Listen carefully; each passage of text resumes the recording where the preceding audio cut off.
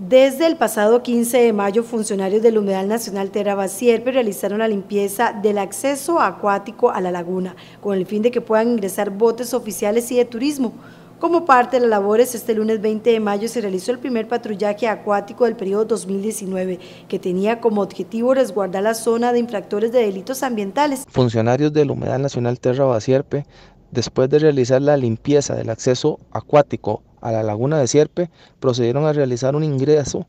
a la zona para realizar actividades de prevención de ilícitos. Durante el mismo no se observaron personas dentro del área